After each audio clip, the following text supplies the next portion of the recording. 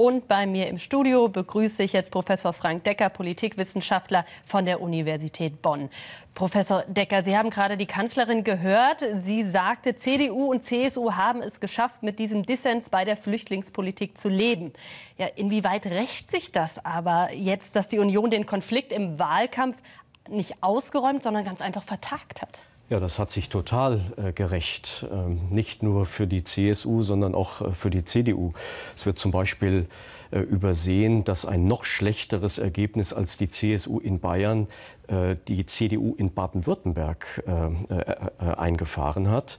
Und wenn Merkel das jetzt als quasi Erfolg verkauft, dass dieser Streit ja. dann begraben worden ist, dann ist das eine ziemlich tollkühne äh, Interpretation, denn die Wähler sind darauf äh, nicht äh, reingefallen und man sieht eben jetzt nach dem schlechten Wahlergebnis, das war ein Burgfrieden, der hat notdürftig äh, gehalten und jetzt äh, bricht die Auseinandersetzung voll aus. Ja, also jetzt müssen Sie reden. Wie könnte es denn beim Streit um die Obergrenze jetzt wirklich zu einer Lösung kommen, wo beide Seiten ihr Gesicht wahren?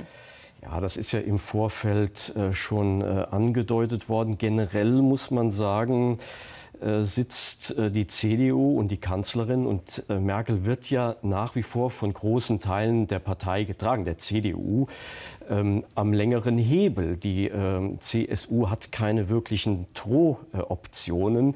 Letztlich wäre es ja die Option, sich nicht zu beteiligen an der Bundesregierung. Damit müsste man die gemeinsame Fraktion aufkündigen. Das und alles dann? wird äh, die äh, CSU nicht machen, weil es ihr noch mehr schaden dann würde. Sie nur noch Blick, eine regionale Partei und ja, mit Blick auf ihre Situation äh, in Bayern. Das ist ja die große Lehre 1976, als man das damals schon mal angekündigt äh, hatte.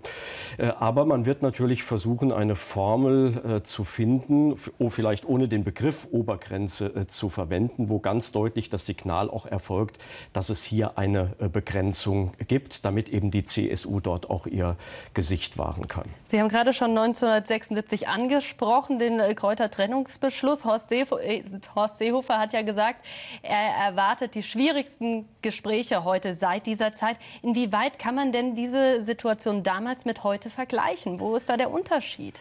Also es ist äh, tatsächlich so, dass eigentlich CDU und CSU sich hier im Verhältnis von Koalitionspartnern begegnen. Das hat es in dieser Form äh, noch nicht gegeben. Äh, wir haben es auch schon 2013 gesehen. Man geht im Grunde mit, eigene, mit einem eigenen Wahlprogramm dann in, in die Auseinandersetzung. Und das sind eben auch mittlerweile ziemlich fundamentale Positionsunterschiede in einer Reihe von Politikfeldern. Die Europapolitik Politik, das ist eben schon genannt worden. Äh, die CSU möchte zum Beispiel Volksentscheide auf der Bundesebene. Die CDU ist strikt äh, dagegen. Äh, und das hat es in dieser Form eigentlich bisher nicht gegeben. Also die beiden müssen sich jetzt im Grunde erstmal selber einigen. Das Problem ist natürlich, dass diese Einigung, diese Position dann nicht eins zu eins sozusagen in den Koalitionsverhandlungen am Ende wieder herauskommen werden und dass dann möglicherweise erzielte Kompromisse von den anderen, von der FDP, von den Grünen, Grünen aufgebrochen werden und so der Streit dann wieder in die Union zurückgetragen wird. Also insoweit äh, ist das eine äußerst komplexe äh, äh, Koalition, die wir uns jetzt, äh, die wir jetzt vor uns haben, die aber im Grunde eigentlich dazu gezwungen ist, sich zusammenzufinden. Denn das kann sich Deutschland nicht leisten. Wir sind nicht die Niederlande oder Belgien, dass man hier äh, ein Jahr auf eine Regierung wartet. Europa wartet auf eine deutsche Regierung. Es wird ohnehin sehr lange dauern. Bis Januar oder Februar rechne ich sogar, dass die Regierung am Ende steht. Aber die, die äh, vier Koalitionäre sind zur Einigung verdammt. Vielen Dank, Professor Decker, für Ihre Einschätzung hier im Phoenix-Studio.